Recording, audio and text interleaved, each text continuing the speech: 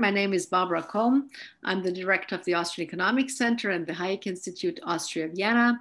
And uh, I have with me my colleague Pietro Paganini from Rome, who is our co-host of the European Resource Bank meeting in Rome.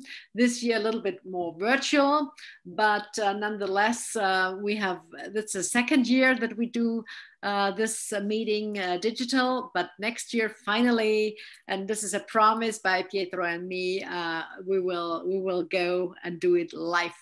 Uh, to be honest, I was just in Italy last Monday. It was a, it was wonderful to be in the country again, and I can't and I think we all can't wait to be there and um, meet and greet each other and work together for the next challenges that all the European think tanks face. And after all, the European uh, Resource Bank meeting is not only about celebrating and meeting and exchanging things, but also about uh, discussing what, what we will do together, what we will collaborate on in the next couple of years and months to come. And uh, of course, uh, this year, the COVID crisis and the so-called um, health crisis and the consequences thereof of the lockdowns have keep have kept us all busy. But we all hope that ease uh, that an ease will come to everyone. And um, I would simply invite you for next year to join us live in Rome. And before we go to our keynote speaker, Yaron Brooks, I will uh, uh, hand over the floor to Pietro, who will uh, introduce uh, everybody as the host of today's event. Thank you so much, Barbara. And let me let me greet you. And I didn't know you were in Italy. That's a bad thing you haven't informed me. But it, it depends in which part of Italy you were, because you still consider some of it as part of Austria. But uh, I I let that to you. Uh, thanks, uh, thanks everybody for for being here, for joining us, Barbara. Let's not forget that we have people here on Zoom, but most of people are following us on on YouTube or following us on on Facebook. And uh, this is a recorded event, so we'll be available. And today is very important because we are going to give out some prizes. And of course, you will be the one cheering the three winners. And actually, there is one that gets on top, but there are there were great presentation that we enjoyed a few weeks ago, and people voted for them. And after our keynote speech, I will be happy to enjoy and give the opportunity to three speakers that we have here that I will introduce later on. So people stay here with us and we will talk about the, you know, post-pandemic and what has happened during the pandemic and what will be the next uh, few months or years ahead of us, considering the big spending of governments, the big new rules that we have, and how Europe and the world will be shaped in uh, the next uh, future. But stay here because if you move away after the keynote, you will miss the three great speakers that are here uh, with us. So stay here and uh, enjoy the keynote. And back to Barbara. And um, well, I'm here with you guys. So let's enjoy for the next hour and a half. Thank you. And without further ado, I would like to introduce Yaron Brooks, who you all know, who has also been one of the judges of Dragon's Den. Uh, he was pretty tough to be honest. Uh, Yaron is not only internationally known for all his publications and books that he uh, that he was working on, but you know for and for having been the chair of Ayn Rand Institute and now being on the board and uh, defending uh, pro-market libertarian ideas in the sense of uh, our of the great woman called Ayn Rand and the lady who is a big example, shining example to many of us libertarian who uh, libertarians who has actually brought many to our thinking because those people who have read Atlas Shrugged, for example, all of a sudden became interested in what uh, what can be done if you put the right if you ask the right questions and if you challenge certain other individuals. Uh, without further ado i would just simply uh, give the floor to yaron and we're all looking forward to your keynote. Thank you for joining us Thank you, Barbara. Thank you, Pietro. Thank you for inviting me uh, to, to speak today. Uh, it, it, we're living through obviously difficult times. The fact that we're doing this on Zoom and not all together uh, live is, is a, I guess, to some extent, a sad testament to the times in which we live. This has been going on now for over a year. There's no end really in sight. Maybe there is, I don't know. I still can't come to Europe. I'm waiting for the day when when they announce that uh, I can come to Europe. I'm vaccinated, so but uh, they still won't let me in. What we've seen over the last year with COVID is, I think, the largest expansion of government power, government control that we have ever seen in peacetime. This is equivalent, uh, COVID has been equivalent in terms of growth of government, the government takeover of economies across the world, the government restrictions on our civil liberties, on our freedom, on our individual rights, that is just unprecedented. And it's unprecedented even when taking into account the context of a pandemic. No, uh, no agency that was responsible for planning for a pandemic, uh, the CDC, the European institutions, ever planned to lock entire populations down to shut down everything, to shut down life, not for a day or for weeks, but for months, and now over a year. And yet, it's what happened. Our politicians panicked. They viewed this as a massive opportunity for a massive power grab, and they took it. And what is truly stunning, amazing, and scary is that they faced almost no resistance no resistance from the people, very little resistance from intellectuals. Those of us on the free market side might have objected, but we were drowned out. We were drowned out by the statists who really dominate today every aspect of life, certainly in America and in Europe. We are all China now. It used to be that the model to emulate was the United States in a sense, uh, the, liberty, the freedom, the, the, the semi capitalism. But that's not the case today anymore. Today, the model is China. We emulated them in terms of the response to the virus. The solution to a virus is to lock everybody down. Now, we can't quite get away with doing it as efficiently and as ruthlessly as the Chinese do. So we do a China light. Um, we don't trust markets to distribute vaccines, to distribute PPE, to distribute medical uh, supplies, to distribute medical services. So again, we rely on a China light model where we take control of the economy, where we regulate and control everything, and we rely on government for everything. And again, the people just went along in the United States, we have now printed uh, trillions and trillions and trillions of dollars under the guise of some Keynesian stimulus, uh, as if Keynes was still a thing. I thought those rap videos clearly showed that he lost and uh, that we shouldn't be taking him seriously, but I guess uh, it didn't matter. Um, he is still the darling of the statists. And of course, there are many who would like to capitalize on this to make it permanent and to increase the power of government in a permanent manner. And you're seeing that coming out of the World Economic Forum. The whole idea of a great reset is the great reset to statism, to more statism, to greater government involvement. It is a great reset. Hey, if we can shut the economy down around COVID, why not shut the economy around climate change? It's just as bad. It's going to kill everybody at the end. So we better do something. Let's get the government even more involved in people's lives, more in control of what we do and how we do it. The last year, at least for me, has been the most depressing in terms of when it comes to politics and the state of the world uh, in my lifetime. It has shown not only the willingness of our politicians to engage in massive state control and massive state takeover, but again, the lack of opposition, the lack of opposition throughout. Now, this all in spite of the fact that there were some real positives that were illustrated through COVID. The role of technology in our lives, the, the, the massive achievement of technology companies, not that anybody is thanking them, we actually want to break them up and, and sue them and, and control them and regulate them uh, as a consequence of their great achievements. But, but the fact is that life was bearable in spite of the lockdowns, in spite of everything else, uh, not because of our grand politicians and our political leaders, but because of Zoom, because of Amazon, because of uh, big tech, because of Apple, because of the great innovations, the amazing progress that uh, tech has made over the last 20 years to connect us all and to make it easy for us to communicate even when we can't go outside or even when we can't fly around the world. So it is something to celebrate and look at in terms of what made that possible. What made it possible for technology to advance so fast and so successfully and highlight that to the world?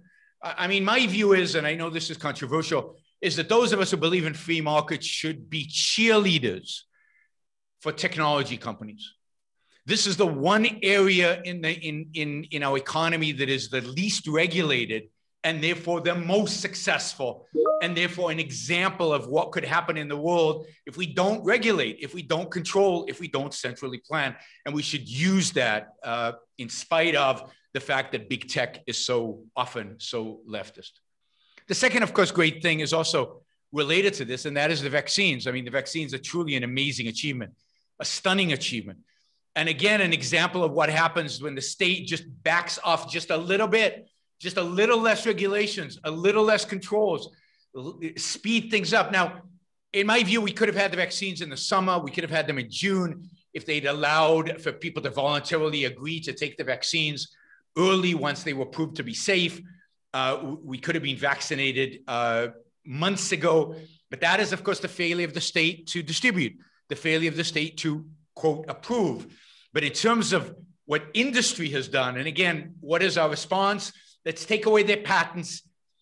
Again, I know controversial, and let's and let's uh, break up big uh, pharma and let's go all out attack our pharmaceutical industries because they're so evil. Um, and yet they're the ones who are saving us, uh, uh, saving us right now. And finally, education, where I think uh, because kids were stuck at home and, and going to school, maybe some parents realized the um, the pathetic uh, educational quality that these kids that the kids are receiving.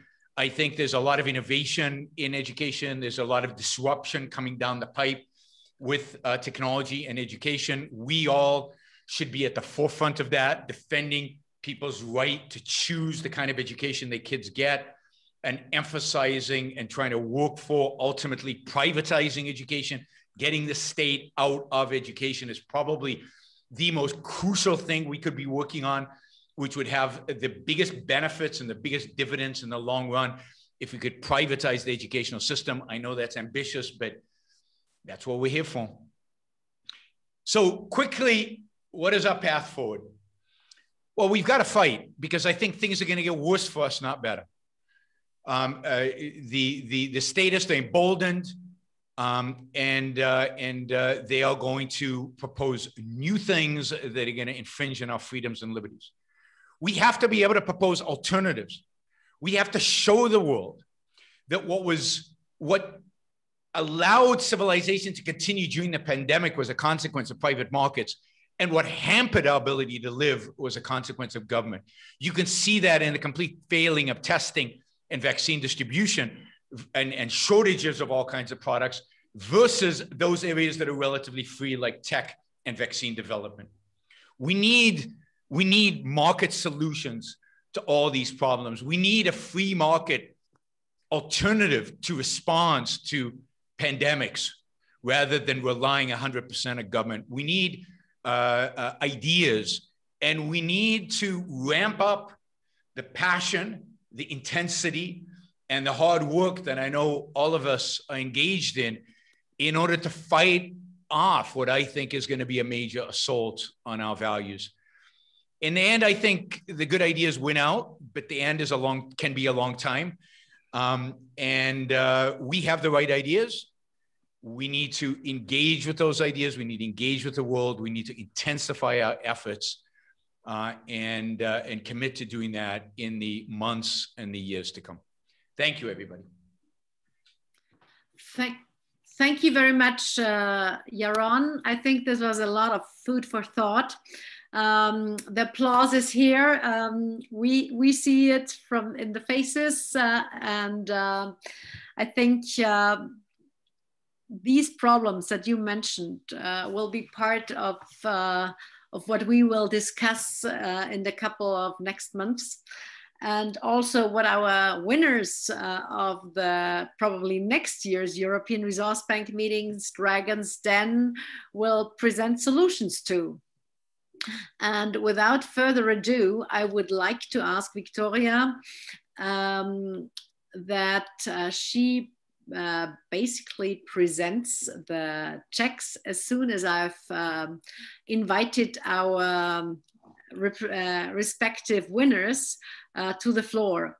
Unfortunately, we cannot do this live. Usually we toast a lot during these uh, final events. This always takes place on a Friday at the European Resource Bank meeting, uh, not on a Saturday because we want to, uh, because we still need to work a little bit. But this, sorry, it takes place on a Saturday because we need to work uh, on Saturday and Friday during the day. But uh, today it's Thursday. Nonetheless, we will toast to everybody then. Um, but let me just give you a little bit of background. First of all, um, we want to thank our sponsors and partners, for those sponsors who have made it possible to uh, let uh, the uh, to, to allow us to, to uh, make this event and the Dragons Den especially possible. And the big thanks go to uh, Global Philanthropic Trust, who always provide the prize money. But there's also many other sponsors and partners who you can see on our website and on the webpage who uh, support not only the European Resource Bank meeting, but generally also support European think tanks and their work. Uh, but uh, let me give you a little bit of background. We had uh, tons of uh, people who sent uh, actually tons of uh, papers and presentations that were sent in, handed in. our jury um, picked a couple out of them, eight were in the finals. And out of these finals, we have um, three winners. And let me tell you, those projects that were handed in and were discussed during the meeting, most of you were present at the discussion and you also saw, saw the online voting. Those meetings, uh, those, uh, those presentations were great. Uh, each and everybody had to contribute a large deal to um, what the needs of the movement are and was looking into possible solutions. Uh, whether it was the case for women's um, rights uh, and, and the libertarian movement, whether it was a special tutoring and exchange program in Arizona, or whether it was uh, something about um, uh, networking in general or in uh, about the Austrian, uh, Austrian school, uh, something very scientific. But I do not want to keep you uh, much longer and don't want to make it too tough for our three winners. Um, and let me start uh, with number three. And number three is a project by a lady in Southeast Europe she has done a lot of work, uh, is very successful in her country, very prominent already. And I would like to ask uh, Mirella uh, to the floor. Mirella, please join us. You won the third prize with your project uh, with the APRO Association, Egoist uh, Publishing House. And uh, please join us. Warm welcome and please present tell us a little bit of what about your program. What is it about? And then you will be handed over the check. Thank you very much barbara and thank you very much for uh, voting our uh, project. Uh, as uh, Yaron said, uh, from our side, also education, uh, it's a big issue, not only for Romania or Southeast countries, but for uh, the entire globe um, as an entrepreneur, I came uh, around and I saw that uh, we need people to work, to make teams, to create ideas, and we need people to think.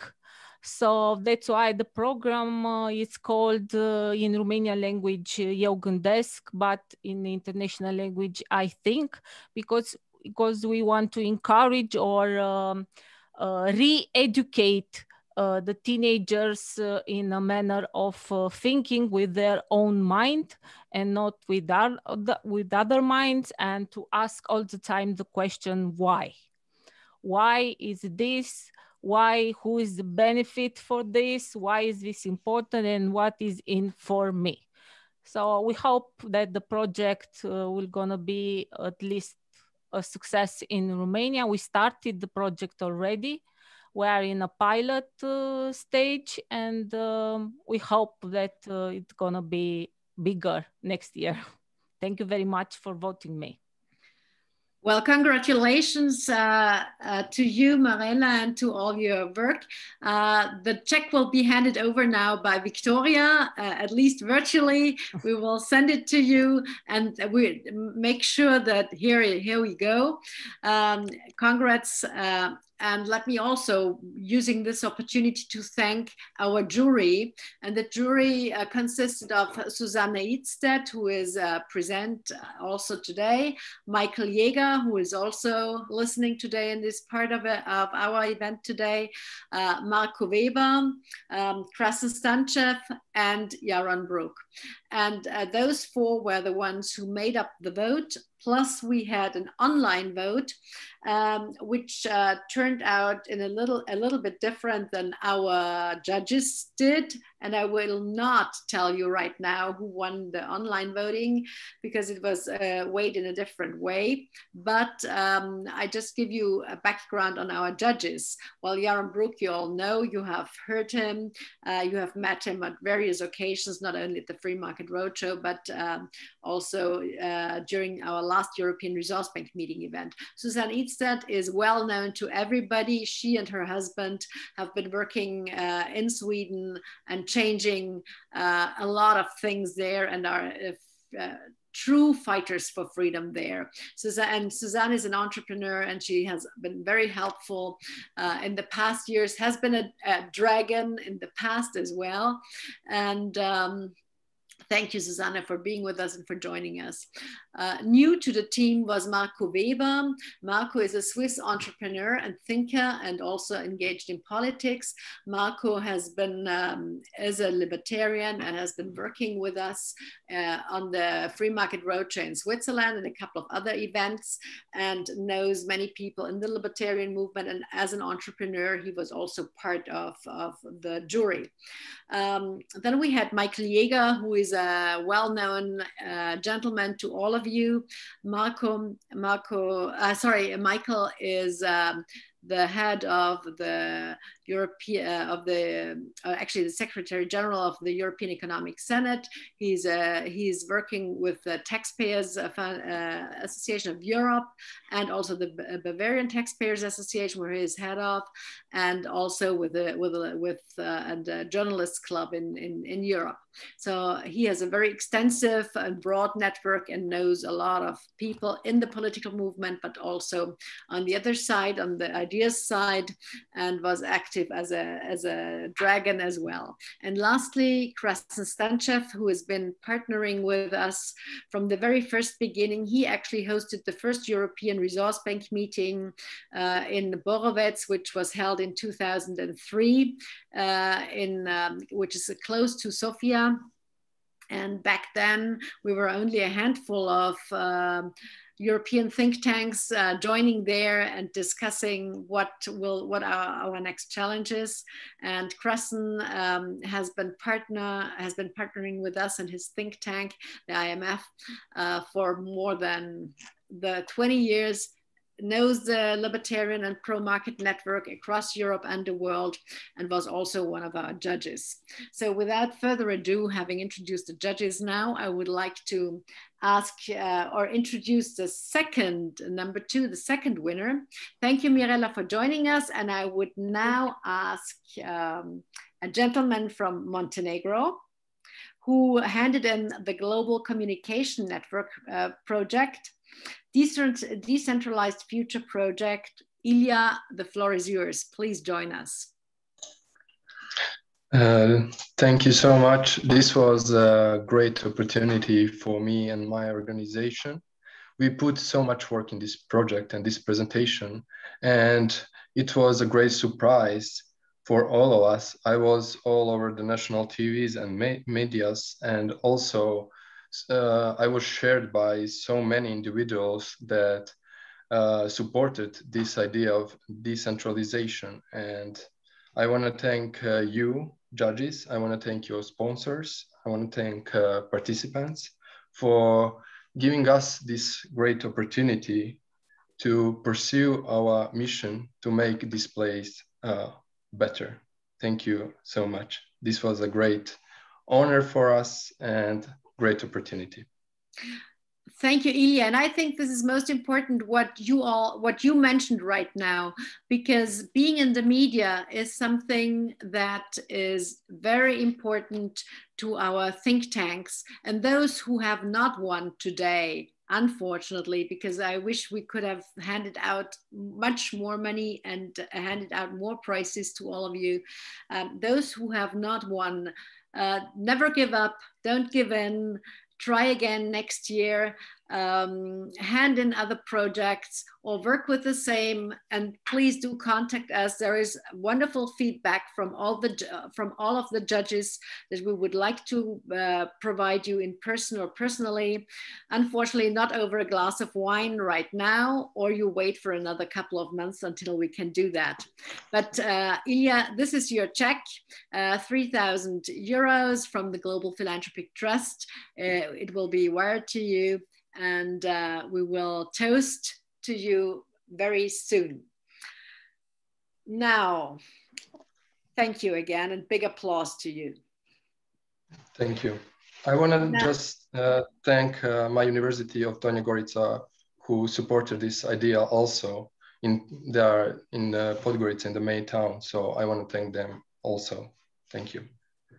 That is wonderful. We all need to stick to our uh, to our network, and we all need to cooperate. And after all, libertarians believe in the division of labor, so we should we should do that and be the shining examples of doing that, and cooperate and collaborate wherever we can.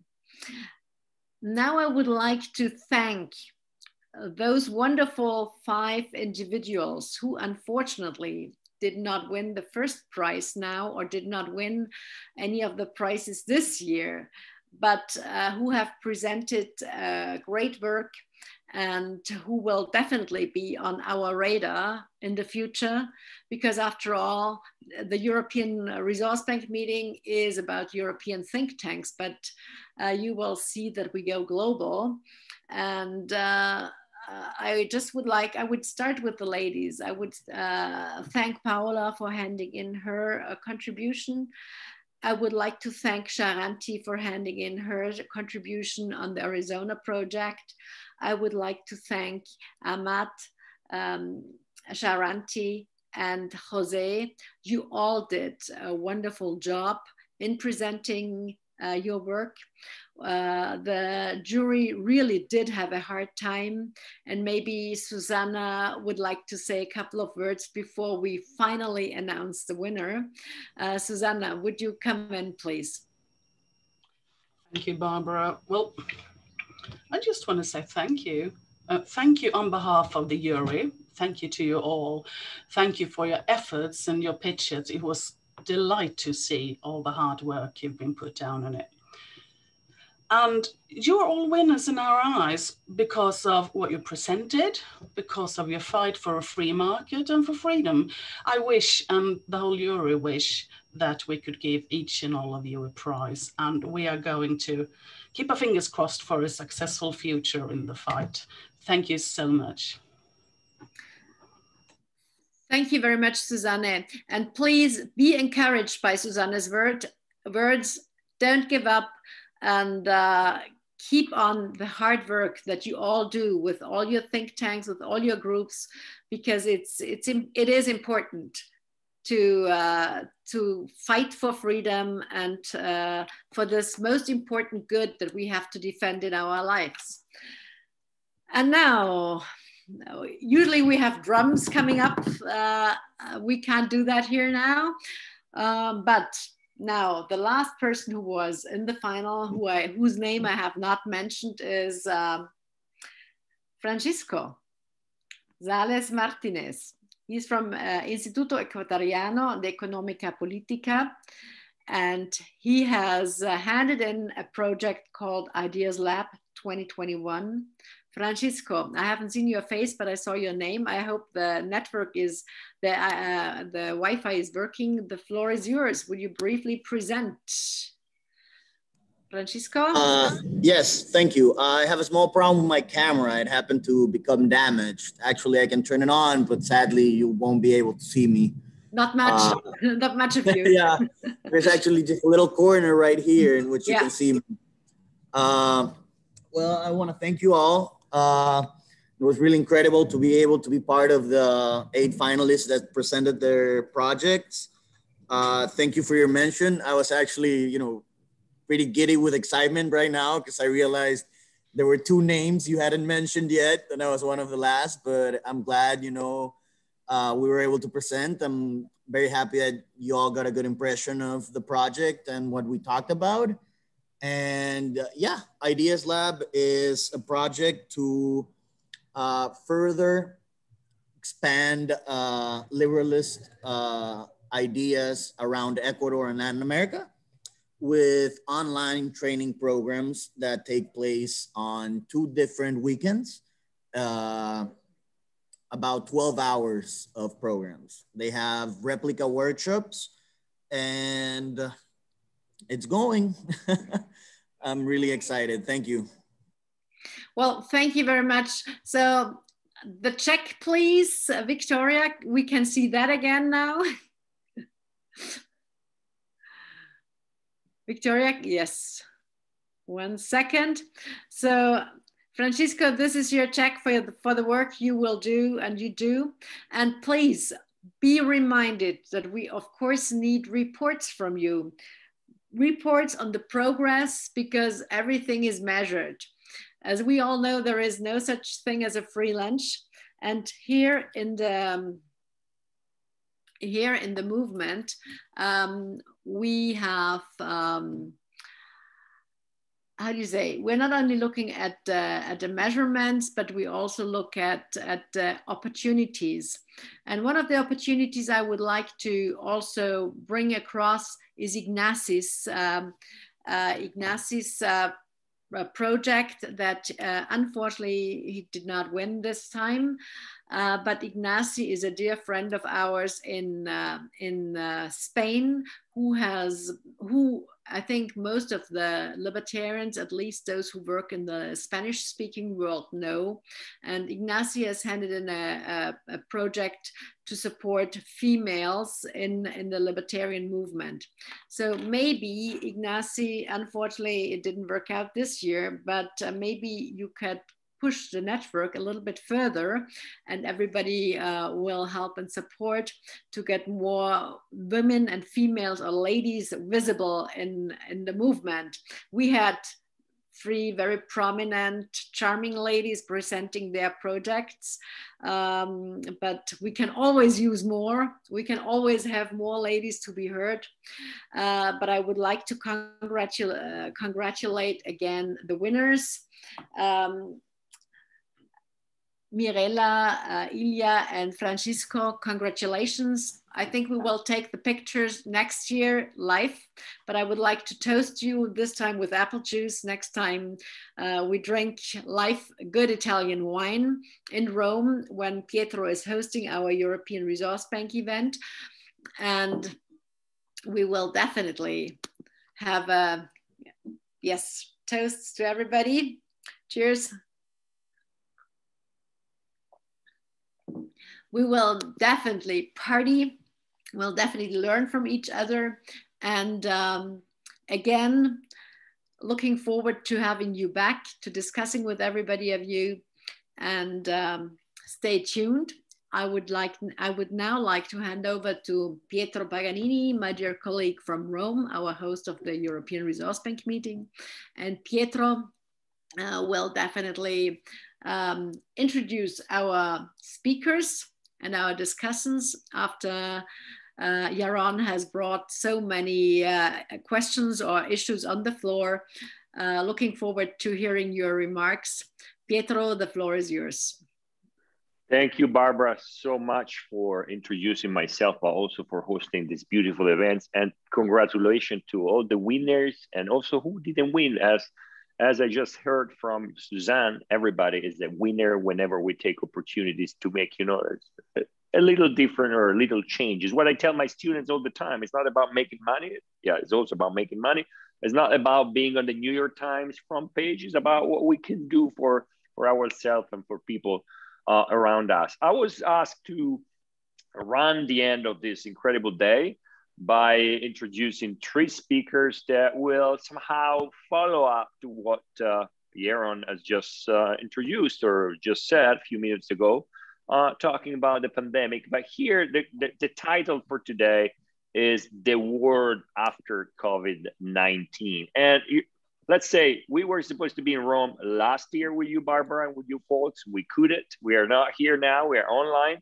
Hopefully, next year again, we will be here. That means the virus will be endemic or the virus will be gone, uh, whatever uh, of the two. But for sure, we can really talk about the virus, uh, the, the, the, the word after the pandemic or after COVID 19. For the moment, COVID 19 is still here with us. So let's say the virus is still here with us, but how will the world look like in the next few days, months, weeks? And I would say even hours or minutes. I want to discuss this and uh, uh, uh, with three distinguished and incredible speakers. I will start with Susanne Ydstedt, that is uh, from Scantech Strategy Advisor in Sweden. And if you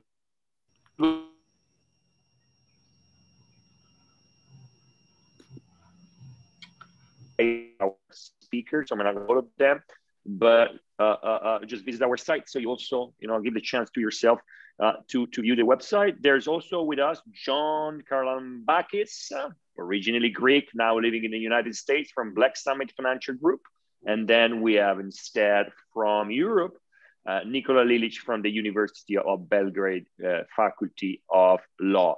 I want to start with Susan, asking for some comments about what Yaron said. And Susan is up in Sweden. And, you know, Sweden has been a sort of very different country for all the other countries in Europe for the policy that were established. But at a certain point, Sweden has decided to do to go into a lockdown.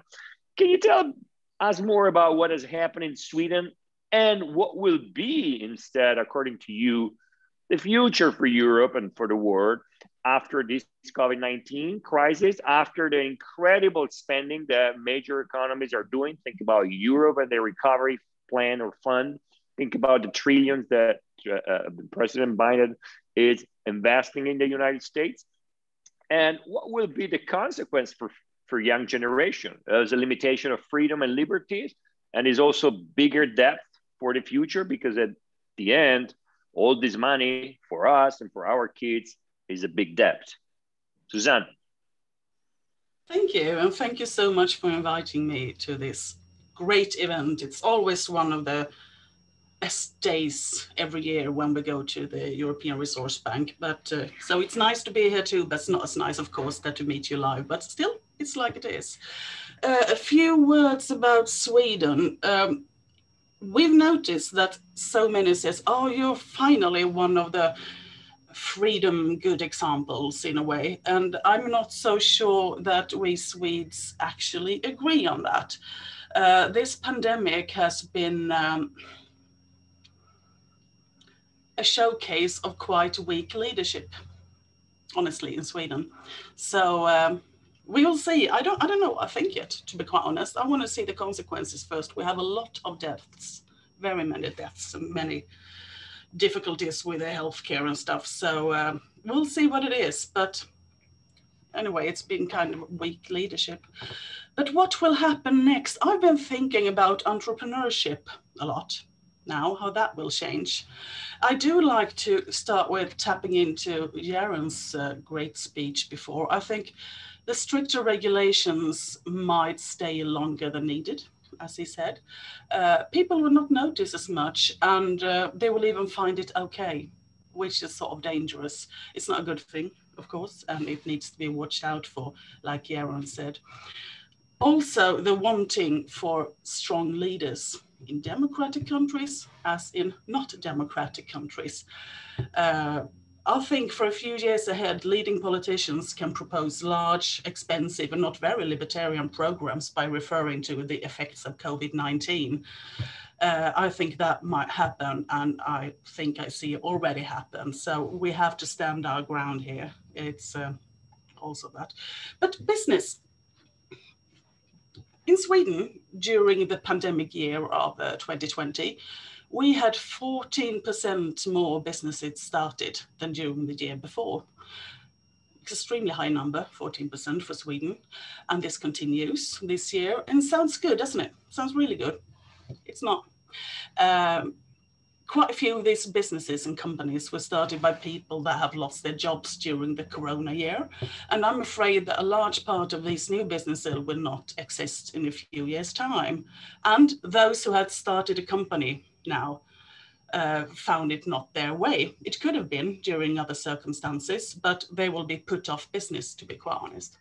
So lessons learned about this. Um, we did during this time need to learn how to lead remote work and how to do business without meeting people face to face. And if lessons were learned well, this could lead to more global business opportunities and a growth because of that because we have passed that barrier that we have to meet every time face to face we do business. However, we did at the same time, well, entrepreneurs did basically to survive, learn how to keep good long-term relationships with their business partners. Um, this will continue and they value being married, so to speak, to their business partners more. They settle down, they tone down their much needed pit bull selling mode, if I could call it that.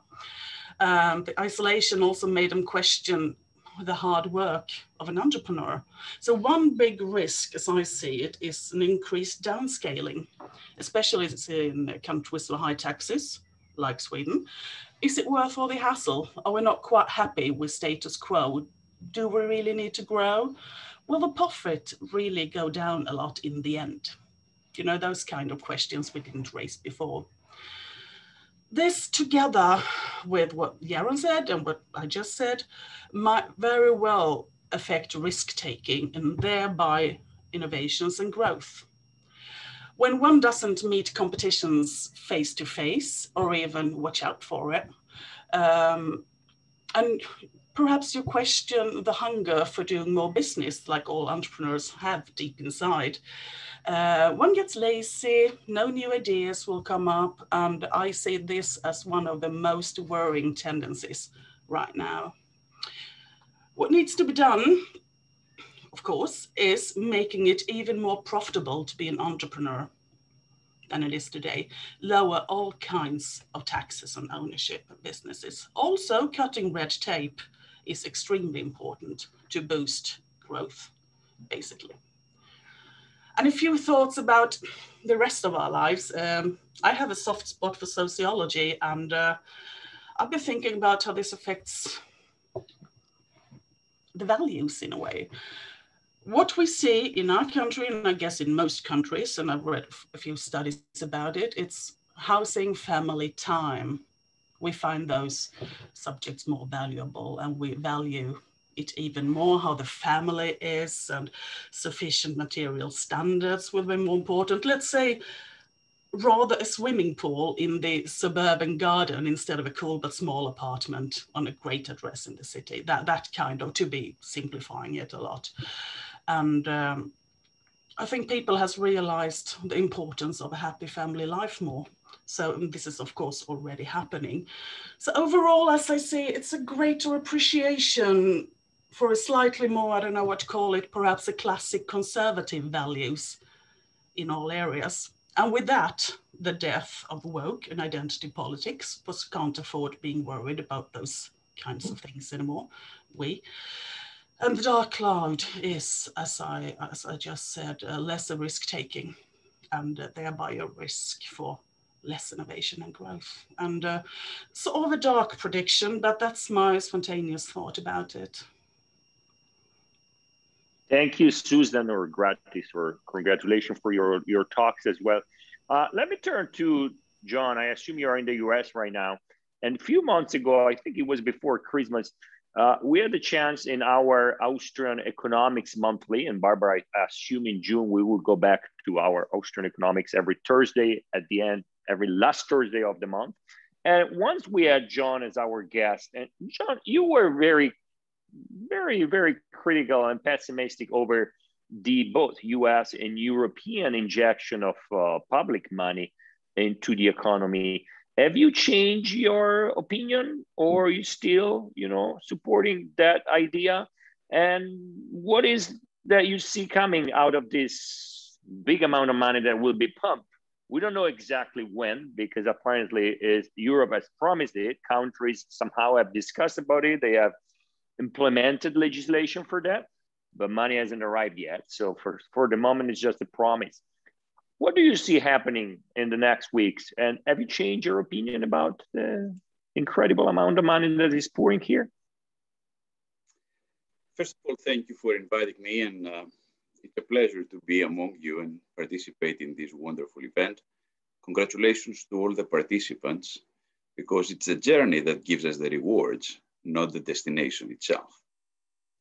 Now, um, let me say that uh, we live in a watershed, watershed moment in human history. Why is it why is it a watershed moment? Because we are changing. The globe is changing, the politics is changing, the statecraft is changing, the geopolitical dimensions are changing, fiscal and monetary policy is changing, sociology is changing, the way that we work is changing, and in, if I could use only one word that can describe all those changes, is institutionalization. When we have watershed moments in human history, like Second World War or First World War or any war, life changes forever and we never go back.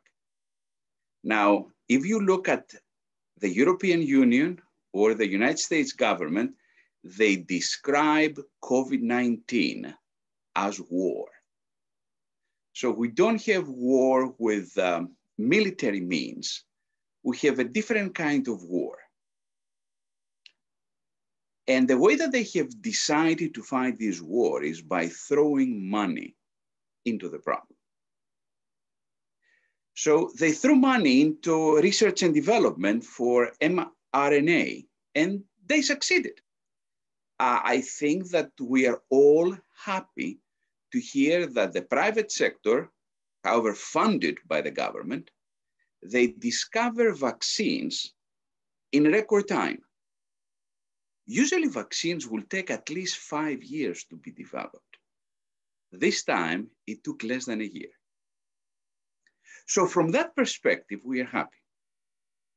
What I'm not happy about is the institutionalization of vices that probably are taking place as we speak. What do I mean? First and foremost, the size of the government increases. And every time we have a bigger government, we have bigger problems. Because the definition of a government is not efficiency, is not lack of waste, is not the absence of corruption. It might be the exact opposite. So the vices that potentially are coming because of wasted money, because of inefficiencies, and maybe because of corruption, will undermine not just the economic activity, but the social fabric. And when you undermine and corrupt the social fabric, the world goes to hell. So I want just to interject the four points that I get from President Washington's farewell address. In his farewell address, he emphasized four points for a nation, for a country to experience growth, prosperity, and civility, four items need to take place. Item number one, we need to be very careful the wars that we fight need to be worthy and just. And if COVID is a worthy cause, then the money that needs to be thrown needs to be justified. Second thing he said is that we need to avo avoid to become a tribe. So when we eventually develop a culture of tribes, we fracture the nation, we fracture the country, and the only thing that comes out of fracture is division. The third thing he said is that we need to be realists. And I don't know if there is realism when we increase the deficit of a country by 100% in one year. I don't know how realism, how realistic it is when the Federal Reserve Bank had a balance sheet 13, 14 years ago in 2007 of 700 billion, and now its balance sheet is 700 trillion. Really? The economy has grown 10 times in the last 14 years for the Fed to increase its balance sheet 10 times from 700 billion to 7 trillion and keeps growing. How about the ECB balance sheet? It has been growing almost 14 times, 1,400% in the last 10 years. How realistic is that? So we need to combine realism with idealism, he said in, and for, for that idealism cannot take place unless it's point number four. We cultivate a moral character in the people. And moral character in the people cannot be separated and be grown apart from solid education based on classical ideas. So am I still afraid that we are institutionalizing vices by throwing money to problems? Yes, I am. And because the globe is changing, because we are changing with it, within it, I think the only perspective that people who believe in liberty and freedom and democracy is to educate the younger generation with the classical ideas. Thank you. Thank you, John, so much. When you talk about institutionalizing vices, you talk about morality and you talk about education. Let me turn to an educator, actually. That is where I see him is Nikola Ilić. Nikola, you are an educator, instructor, a professor, let me say, but at the end, you are an educator. Um, can we actually educate our people differently after this experience of COVID 19? I know I'm going a bit beyond the scope of the of today, but I think John came, you know, concluded with this. We need to educate people to sort of classical uh, conservative values. Um, is that right? Or should we also educate to change in a way? Because we need some change and we need probably to face and to challenge problems in a different way. But before uh, uh, giving the floor to you, uh, let's say that President Biden did something good. You know, I, I know you're smiling now. Uh, he started this CIA investigation over the famous lab in Wuhan, and probably was a good time to start thinking about that. That you know, it's not about conspiration, but it's about finding the truth in order to defend and promote science. It, it's there is a lack of transparency when people will develop a sentiment against science and against any irrational thinking. And right now, I felt very stupid to believe that there was a bat, a bat going around uh, Wuhan, uh, uh, uh, uh, biting people and spreading the virus. You know, there's no bat evidence that the virus was coming from a bat in Wuhan, and there are more evidence it's coming from a lab. So finally, a good action from President uh, Biden. Let's see where this is leading. But let me go now back to our topic to Nikola. Nikola, you're there?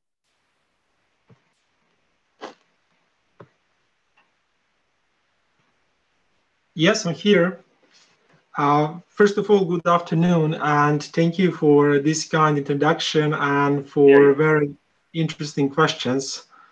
Uh, in my opinion, other speakers already covered the most relevant issues that are related to the post-pandemic world, and I'll try to contribute a little bit to this uh, discussion by making an additional point. Uh, in essence, I'm an optimist And I think that in the long run, uh, I know it's not intuitive, but in the long run, uh, we could have a lot of benefits and greater economic growth due to the pandemic. Of course, I will explain. To put it simple, uh, what doesn't kill you makes you stronger. And I think that we all agree that this pandemic is the biggest challenge for national economies and for a global financial system ever since it was established, since the Second World War. It's a huge challenge. Uh, but still, I think that while struggling with, uh, with the coronavirus, we got many lessons and we got many innovations and improvements. Uh, observing on a micro level, individual participants in the market learned how to uh, handle the crisis and how to be more efficient, more productive, how to improve their products and services. And in the long run, I think that could contribute to greater economic growth. Of course, the problem that we are facing is, is strict regulation and, and uh, I would say overregulation uh, uh, in certain fields. And I hope that governments will realize that they cannot replace the markets, that we have to rely on markets. And I really hope that this will be one of the lessons that we'll have after the pandemic. And in that sense, of course, I agree that we should educate younger people based on classical ideas. And I really uh, uh, still truly believe in markets. And I think that's the only solution. But uh, looking from the positive side, I think that we'll have certain improvements in markets due to the challenge that we are facing. And as I said, due to increased efficiency and increased productivity, we could, we could have greater economic growth in the future, of course, under the assumption that governments uh, uh, realize how market is important and how the, the functioning of free market is important. Also, one of the biggest lessons that we, we could have from the crisis is that we are all interconnected or intertwined. No one is immune to the coronavirus, and uh, there is no single economy that that could work that, that could work alone or could be isolated and function successfully. So we really need to have a global financial system uh, which relies on on a free national markets. So in essence, I, am an optimist, and yes, my, my answer is, to you is yes, we should educate younger people and I think that we should use this opportunity to, to, to, to say how markets are important and what could be the benefits in the future. Uh, thanks, Nikola, um, for being so concise and, and also using the word optimistic. And actually, that means that you tend to differentiate yourself from John, that apparently was not so optimistic. A little bit, and, yes. And to Susanne, that apparently herself was not very optimistic. Then, Susanne, are you eh, eh, defending your pessimism at this point? And do you believe that education can instead divert the direction and turn us into a more optimistic view? But before answering this, there is a question from, and I should tell people that are following us here on Zoom uh, and the many that are following us on Facebook. They, on Facebook, unfortunately, cannot make questions. They can make, make questions on Facebook, of course, but I'm not reading Facebook because I'm generally not very, very quick and smart with technology uh, particularly with social media. But there is a question that comes from a person I know, name is Barbara. Uh, question to Susan is, uh, Susan, you mentioned the importance of family life, which individuals see more important now. Uh, what do you think about the issue of work-life balance and how to keep our productivity up? So there are two questions. One is the one by Barbara, and the second one by me is do you believe in education to turning your pessimism into optimism? Uh, I'll, I'll, start with your questions, Pietro. Yes, I do.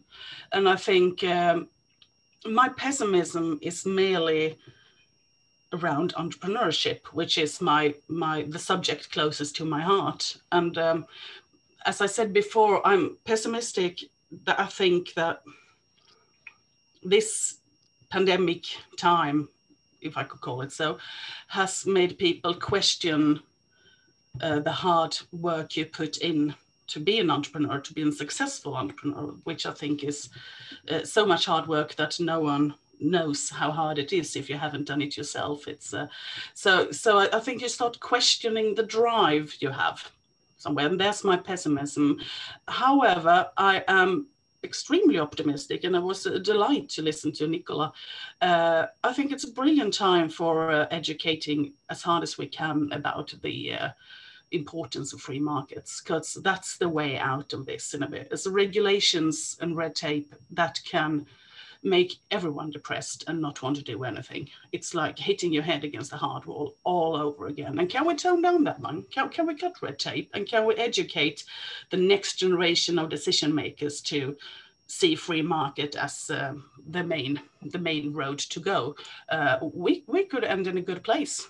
Absolutely. So I'm I, I share I share that uh, vision. And uh, for going over to Barbara's question, which was how you balance balance uh, work well, I sort of forgot it. Sorry. The the, the, the question, Susanne, is um, since you mentioned family life, and you know, people would probably move uh, to the countryside now, having their pool instead of uh, being in a super loft in downtown, whatever. Uh, and you know, coming back to those so-called classic uh, values. But on the other hand, uh, there is the question: work life. Um, how much do they really work once they all sit at home? Do working from home and how does it affect our productivity? And i was just wondering how you especially as an entrepreneur view this.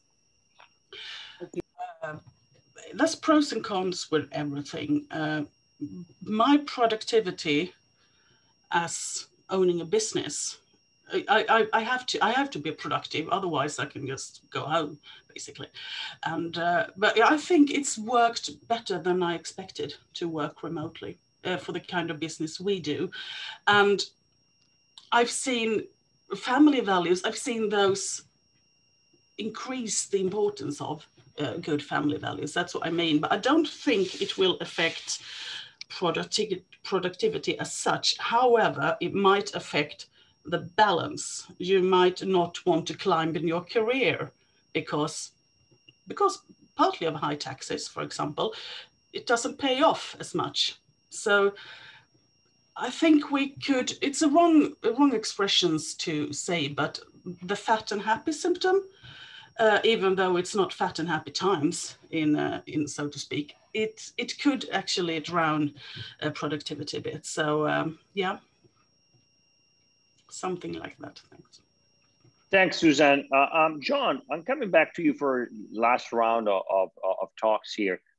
Uh, when we talk about education, and you mention it, but the question I have is during a pandemic or right now that the pandemic is sort of, you know, slowing down and somehow uh, disappearing, hopefully, how do you think we can tell people to turn to other values and to another morality and to support the idea, for instance, of a free market, of competition, what Susanne was just saying, when there is so much money being thrown to us, uh, not literally, I would say, unfortunately, but the money is coming and it's supposed to help the economy.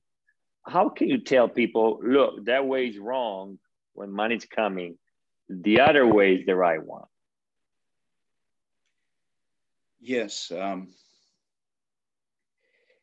if we go back to the concept of productivity, and I know that indirectly I will answer your question, but then I will address it directly.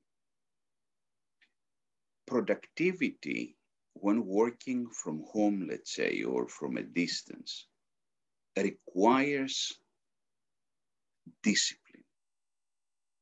In other words, I have the discipline to be faithful to the entity, to the enterprise, to my boss, and produce quality work from a distance. Discipline requires character. Character requires moral education. So we go back to the root, I believe. And my fear is actually, it's not a fear, it's a reality here in the US, people are paid extra, extra unemployment benefits to the tune of close to $2,500 a month on top of the unemployment benefits. So they are disincentivized to go and look for work. That goes back to the concept of institutionalizing vices rather than institutionalizing virtues. So from that perspective, when we institutionalize vice, I'm not that optimistic. The optimism comes when we, we establish a plan, maybe starting with small communities, starting with pilot programs of educating the youngsters, starting from kindergarten and elementary schools. That's where my optimism comes. Thank you, John. Now, so you turn from, from being pessimistic into optimism. yeah, but I also believe in the second law of thermodynamics, right? That disintegration prevails. Let me give you, can I give you an example of disintegration? Sure, sure. Okay, you, you mentioned what could the consequences be of this throwing money activity. I think one fear that I have, and as I manage other people's money, as I manage assets, I see an inflationary wave coming in from four sources. One source is the money that the government throws. The second thing is that there is a lot of liquidity around because central banks provide that liquidity. The third source is the savings. Savings in the United States right now are between 16 and 20% per household. US households did not save. So now they're saving because they're not spending. And that savings eventually will be thrown back into the market within the next few months. So there will be higher demand. Then there are constraints, supply constraints. So you have higher demand on one side, supply constraints on the other, and you have an inflationary wave. I know central banks believe it will be temporary. I hope so. I hope I'm wrong, but I think that inflationary or inflationary pressure could be here to stay. And because of uh, inequalities and conflicts, you may have another force um, from the, those conflicts that could push prices higher. Wage pressures are already here in the United States, and I think they're coming also in the European Union. They are indeed. Uh, they are very much, and there, there's a much of concern.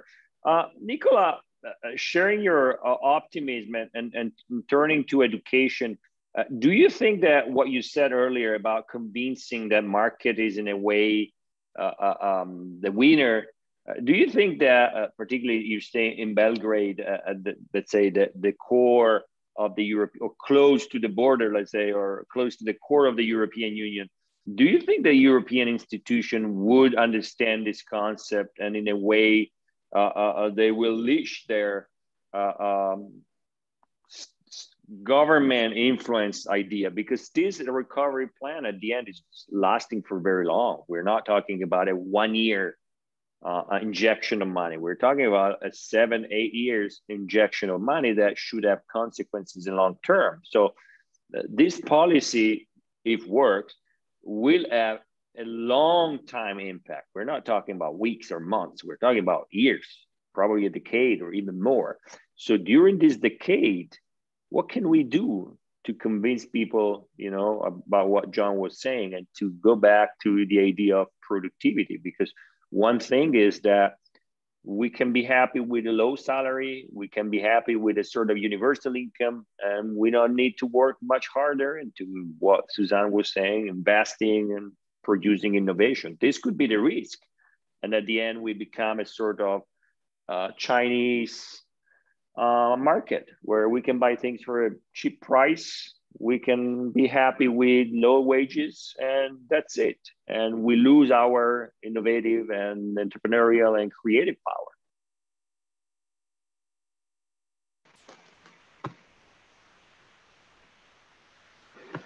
Uh, thank you once again for for a uh, really challenging question. Uh, uh, yes, I agree. It's it's a huge problem and it's a huge challenge.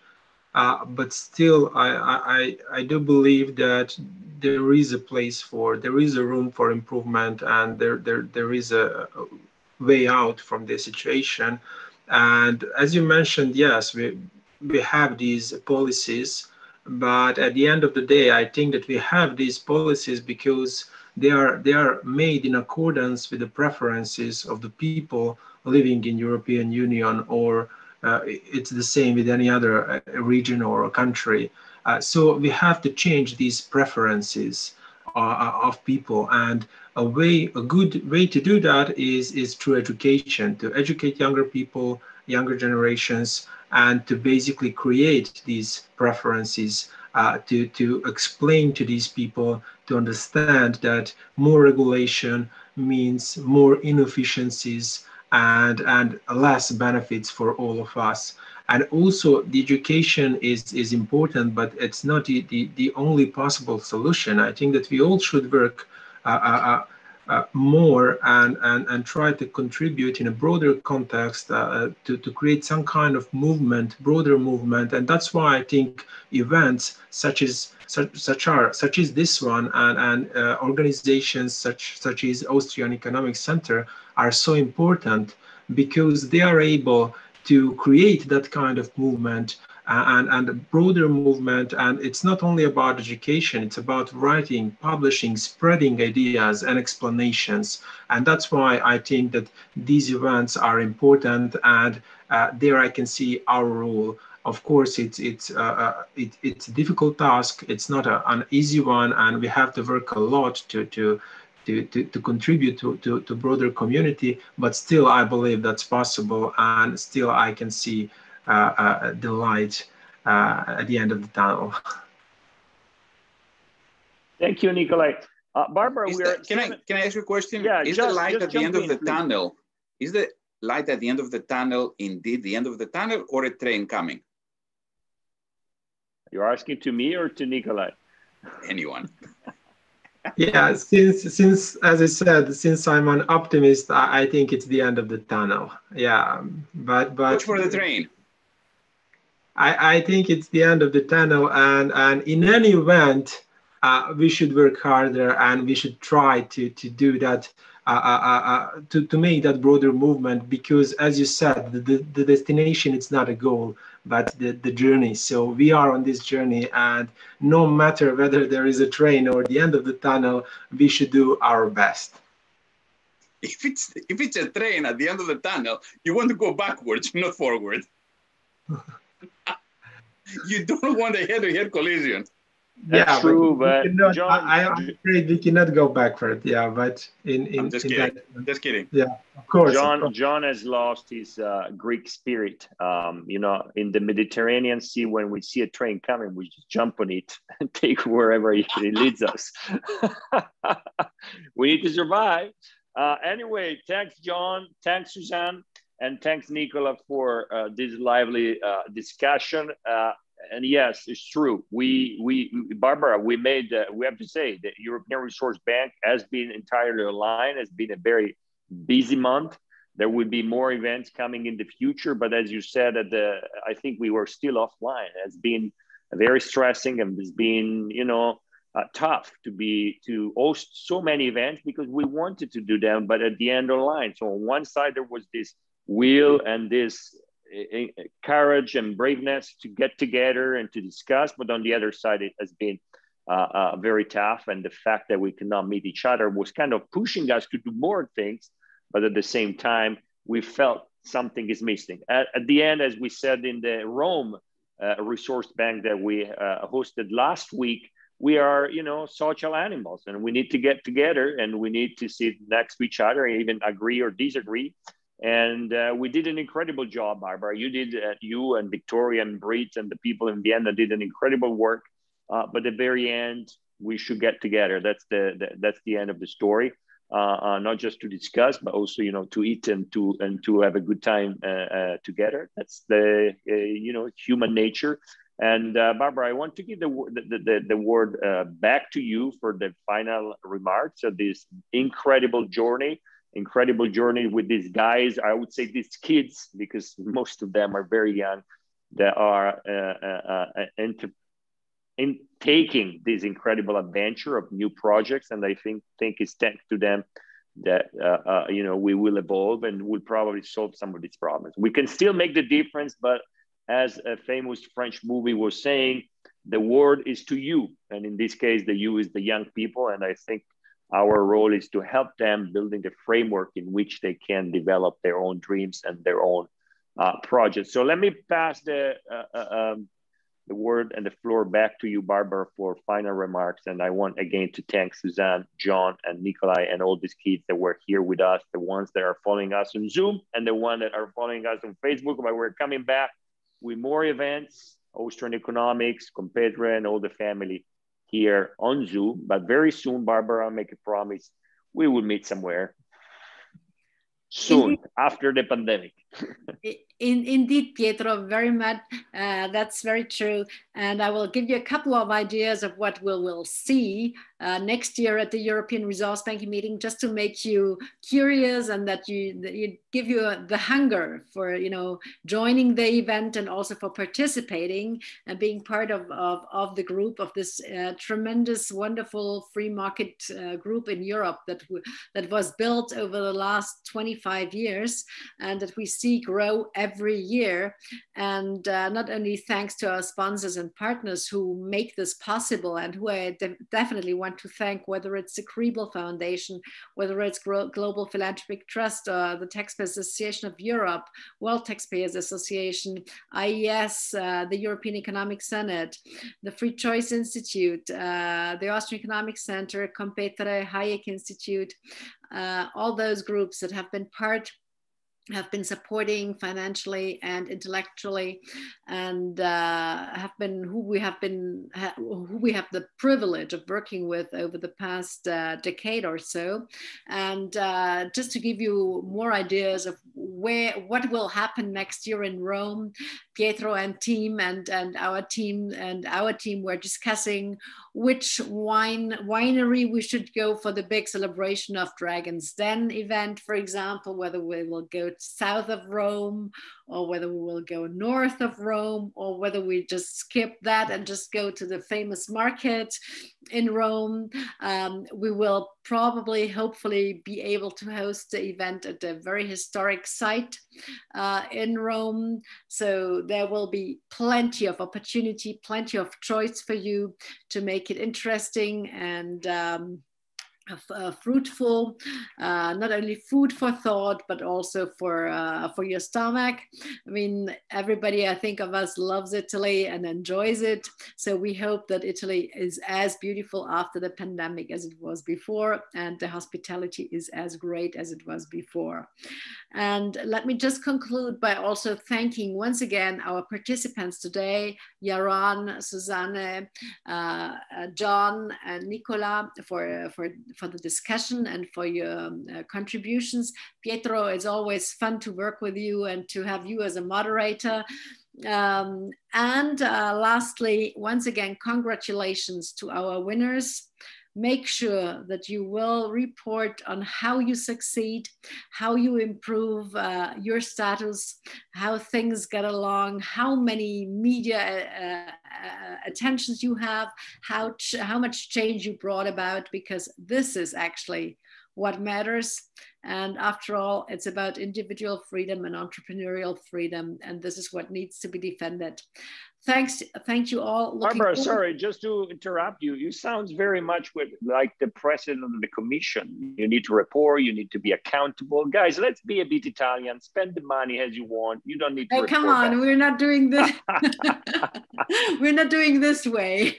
You know, we are accountable to our donors and uh, partners. Just spend money. That's for sure.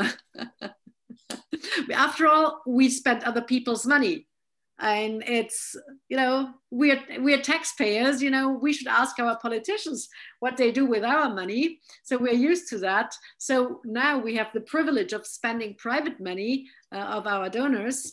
And that's exactly uh, where we need to be uh, careful and where we hold everybody accountable uh, for who is doing that.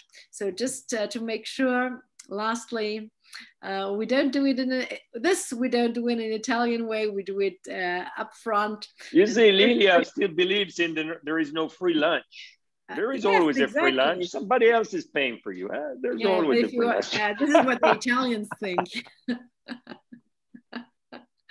Uh, but not but not the Austrians. You know, Austrian economists believe in responsibility. And having said that, I'm gonna close the session now. Thank you all for joining, believing in, in true values, in responsibility and individual freedom.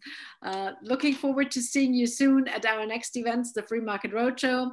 Uh, will uh, will continue next Tuesday uh, and events to follow. And of course, uh, our event with Pietro and Competere, our monthly Austrian economic, economics conference, and the many conferences that uh, also Michael Jaeger is putting up on the European Economic Senate, where we cooperate.